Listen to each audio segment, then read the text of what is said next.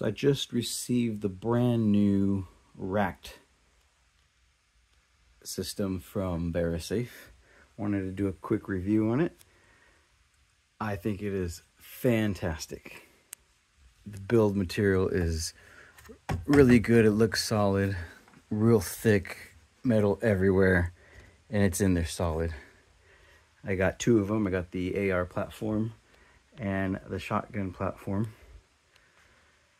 I really like it. The fingerprint sensor works really good, fast, and everything comes out real easy.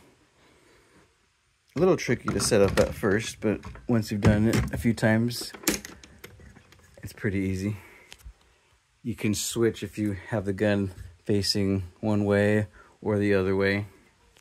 Um, all three of the main pieces are completely um, adjustable all the way up or down, all the way forward and back.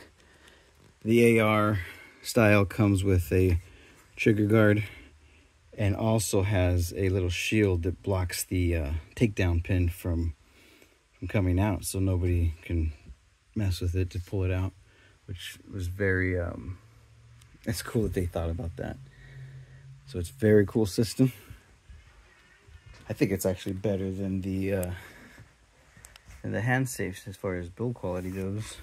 I got the first gen and second gen hand safes.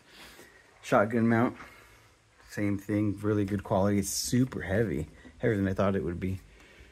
So the only difference with the shotgun mount is uh, this clamp right here is uh, notched to fit the bigger uh, barrel.